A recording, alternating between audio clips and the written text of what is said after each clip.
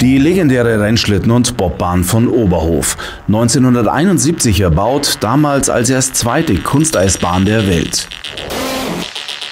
Jahrelang werden hier die besten Bob- und Rodelteams der Welt ausgebildet und trainiert.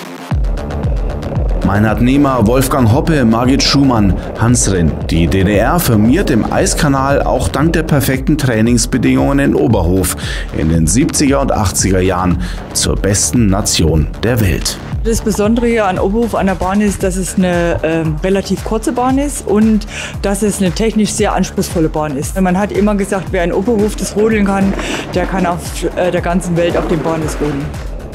Und auch heute steht Oberhof für Spitzensport im Rodel- und Bobgeschäft.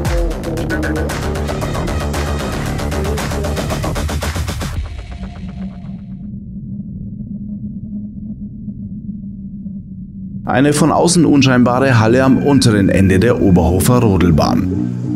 Kein Schmuckstück, aber einer dieser Orte, die am Ende den Unterschied machen, in Form von Hundertstel und Tausendstel Sekunden. Man kann das so aufteilen, ein Drittel Start, ein Drittel Fahrleistung, ein Drittel Material. Ja, und wenn man am Start hinterherhängt, ähm, das holt man dann nicht mehr so schnell auf. Alexander Rödiger weiß, wovon er spricht. Hunderte Male hat er hier als Anschieber von André Lange und Nico Walter den Start geprobt.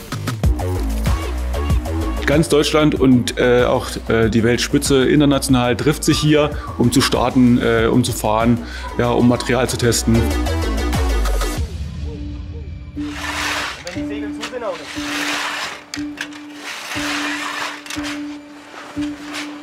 Was der Zuschauer nicht zu sehen bekommt, ist die Arbeit im Hintergrund, wie hier tief in der Nacht während der Junioren-Weltmeisterschaft.